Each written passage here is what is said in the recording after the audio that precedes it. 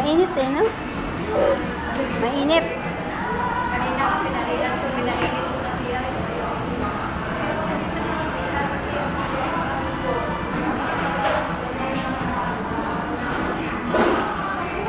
Oh, dalawa na nasasayang mo.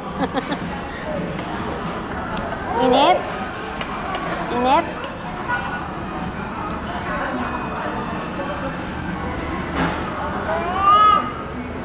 lagi di DM.